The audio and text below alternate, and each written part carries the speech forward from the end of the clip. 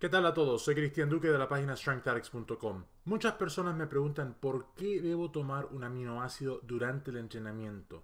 ¿Por qué no después del entrenamiento? ¿Por qué no antes del entrenamiento? Una pregunta muy muy importante. Los aminoácidos generalmente tienen tres aminoácidos, los esenciales, no los no esenciales. Lucina, valina y isoleucina. La lucina es la más importante de todas. La razón es porque es la más anabólica.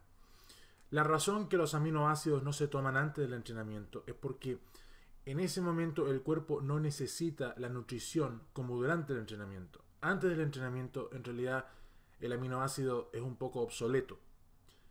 Después del entrenamiento, el cuerpo ya necesita más que simplemente los aminoácidos esenciales, es decir, necesita el perfil completo de aminoácidos.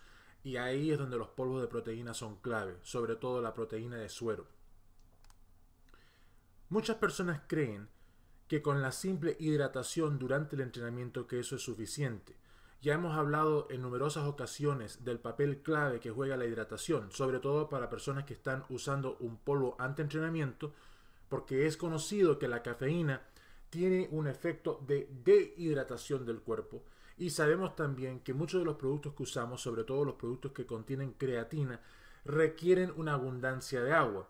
Entonces, si tenemos un polvo anti-entrenamiento que está sacando el agua del cuerpo y la creatina por el otro lado está tratando de retener el agua en el cuerpo, creamos un problema muy, muy malo para los riñones y también para nuestras metas de aumentar masa muscular, aumentar fuerza, evitar fatiga y aumentar la recuperación una vez que salimos del gimnasio. Por eso que es muy importante tomar agua durante el entrenamiento, antes del entrenamiento, después del entrenamiento. Hay personas que toman agua cuando se levantan y hay personas que toman un poco de agua antes de irse a dormir. No tomen mucha agua antes de irse a dormir porque va a afectar cómo duermen.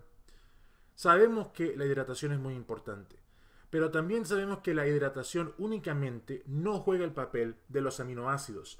La hidratación durante el entrenamiento es clave para que una persona no tenga sed y para que una persona pueda poder usar los antientrenamientos y la creatina y todas esas otras cosas. Pero eso no quiere decir que la persona va a estar anabólica. Estos productos, estos productos tan simples, pero a la vez tan importantes, previenten el catabolismo y mantienen el anabolismo. Y eso es lo que usted quiere para aumentar masa muscular, retener esa fuerza y evitar esa fatiga.